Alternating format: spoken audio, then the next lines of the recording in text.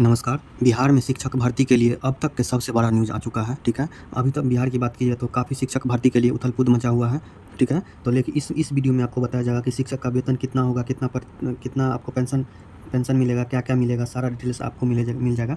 कितना का परीक्षा होगा, कितना मतलब पूरा पैटर्न एग्ज़ाम पैटर्न की बात कीजिएगा, ठीक है? मेरिट लिस्ट जो होगा आपको किस आधार पर बनेगा और किस विषय में, किस विषय में कितना पोस्ट खाली है, सारा डिटेल्स आपको बताया जाएगा, इसमें बने रहिए, ठीक है? कैबिनेट से 1.7 लाख सेवन एट लाख की बात की जाती है यानी कि एक लाख अठहत्तर हज़ार पद जो होगा आपको शिक्षक भर्ती को मंजूरी है, वैकेंसी इसी माह में आने वाली है। चलिए देखते हैं, अब शुरू करते हैं। यहाँ पे कक्षा एक से बारह तक के एक लाख अठहत्तर हज़ार छब्बीस शिक्षकों के भर्ती और वेतनाम वेतनमान को कैबिनेट की मंजूरी मिल गई है। सभी बहाली बीपीएससी से होगी। बीपीएससी के द्वारा आपको एग्ज़ाम लिया जाएगा। इसमें आप क्वालिफाई करते हैं तो आपको शिक्षक बनने का मौका मिलेगा बिहार में। मंगलवार को सीएम नीतीश कुमार की अध्यक्षता में कैबिनेट ने शिक्षकों शिक्षकों के पद और वेतन नाम को स्वीकृति दे दी है, दे दी। अब शिक्षक के इन पदों पर जिलों में, जिलों से आरक्षण रोस्टर क्लियर करा करा रिक्ति रिक्ति को जो है, बीपीएससी को भेजा जाएगा। इसी माह के अंत तक बीपीएससी से वैकेंसी आने की संभावना है। कैबिनेट के आधार पर मुख्य सचिव एस सिद्धार्थ ने बताया कि एक लाख अठहत्तर हज़ार छब्बीस शिक्षकों के वेतन पर सालाना दस हज़ार छः सौ तेईस करोड़ पैंतालीस लाख रुपए खर्च होंगे। यानी कि एक लाख अठहत्तर हज़ार छब्बीस शिक्षक जो बहाली होंगे तो कैबिनेट को, यानी कि सरकार को दस हज़ार छः सौ तेईस करोड़ पैंतालीस लाख रुपए खर्च होगा। एक से आठ की बात कीजिए तो कक्षा एक से आठ तक के सतासी हज़ार दो सौ बाईस पदों के लिए वेतन पर छियालीस सौ उनतीस करोड़ तेईस लाख सात हज़ार रुपये खर्च होंगे। ये तो सरकार की बात है, ठीक है? सरकार को इतना इतना खर्च होगा। इसके बाद माध्यमिक और माध्यमिक और उच्च माध्यमिक स्कूलों में नब्बे हज़ार आठ सौ चार शिक्षकों के वेतन मद में उनसठ सौ चौरानवे करोड़ बाईस लाख चौबीस हज़ार रुपये खर्च होंगे। कक्षा नौ से दसवीं तक की बात कीजिएगा तो इसमें हिंदी अंग्रेज़ी हिंदी विज्ञान गणित और सामाजिक विज्ञान जैसे महत्वपूर्ण प्रत्येक विषय के लिए चौवन सहित कुल पद की बात कीजिएगा। सत्ताईस हज़ार एक सौ पच्चीस पदों का सृजन किया गया है। द्वितीय भारतीय भाषा की बात कीजिएगा तो इसके लिए इकतीस सौ इक्यानवे पद है। इसमें उर्दू इक्कीस सौ है फारसी तीन सौ है अरबी अरबी दो सौ है माध्यमिक इसके बाद आ, आ जाइए। माध्यमिक विद्यालयों में विशेष शिक्षकों शिक्षक के दो सौ सत्तर पद है। इन सभी शिक्षकों के मूल वेतन पच्चीस हज़ार से लेकर बत्तीस हज़ार तक होगा। कक्षा एक से पाँच तक और कक्षा बारह से ग्यारह से बारह के शिक्षकों को प्रति माह वेतन चालीस हज़ार छः सौ तीस से रुपये से लेकर इक्यावन हज़ार एक सौ तीस रुपये मिलेगा। यह नियोजित शिक्षकों के प्रति माह वेतन की तुलना में पचपन सौ छियासठ रुपये से लेकर बारह हज़ार सात सौ इक्यासी पदों का अधिक होगा।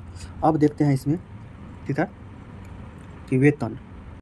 वेतन आपको कितना कितना रहना है? एक से पाँच की बात कीजिएगा तो ज़्यादा इधर नहीं जाना है। ठीक है? ये medical C T T C T A अठारह प्रतिशत एच आर ए बयालीस प्रतिशत D A gross salary net salary ये सब नहीं जाना है। मूल वेतन और नेट सैलरी की बात कीजिए यहाँ पे। एक से पाँच तक की बात कीजिए तो पच्चीस हज़ार नेट सैलरी हो जाएगा आपको चालीस हज़ार छः सौ तीस। छः से आठ तक कक्षा छः से आठ तक की बात कीजिएगा तो उसका मूल सैलरी जो होगा वेतन अट्ठाईस हज़ार और यहाँ से हो जाएगा नेट सैलरी आपको पैंतालीस हज़ार एक सौ तीस। नौवीं से दसवीं इकतीस हज़ार और मूल नेट सैलरी हो जाएगा आपको उनचास हज़ार छः सौ तीस। ग्यारहवीं से बारहवीं में बत्तीस हज़ार और नेट सैलरी इक्यावन हज़ार एक सौ तीस हो जाएगा, ठीक है? तो ये आपको सैलरी होने वाला है। अब देखते हैं मेरिट की बात कीजिएगा तो मेरिट किस आधार पर बनेगा, वो भी बताया जाएगा सबसे पहले किस विषय में कितना पोस्ट खाली है। ग्यारहवीं और बारहवीं में विषयवार भर्ती। ग्यारहवीं और बारहवीं की बात कीजिए तो उसमें विषयवार भर्ती में जो होगा, ठीक है? यह है विषय और यह है पद। विज्ञान संकाय की बात कीजिए तो पंद्रह हज़ार आठ सौ नवासी पद खाली है। जीव विज्ञान में, होगा चौवन सौ इक्कीस, रसायन विज्ञान में होगा, यानी कि बायोलॉजी में होगा चौवन सौ इक्कीस। रसायन विज्ञान यानी कि आपका हो जाएगा केमिस्ट्री में होगा सैंतालीस सौ निन्यानवे, गणित में होगा छब्बीस सौ सैंतालीस, भौतिकी में होगा तीस सौ बाईस, कला संकाय में होगा उन्नीस हज़ार सात सौ उनचास, इतिहास में होगा अंठावन सौ सत्तर, राजनीतिक शास्त्र में होगा तिरपन सौ चौवन, संगीत में दो हज़ार तैंतालीस, मनोविज्ञान में 2015 समाज शास्त्र में चौदह गृह विभाग में बारह भूगोल में दस एक हज़ार तैंतीस, अर्थशास्त्र में पाँच सौ तेरह और वाणिज्य संकाय में उनतीस सौ सोलह। बिज़नेस स्टडीज़ में होगा आपको तेरह सौ अट्ठाईस, भाषा व अन्य में होगा उन्नीस हज़ार चौंसठ।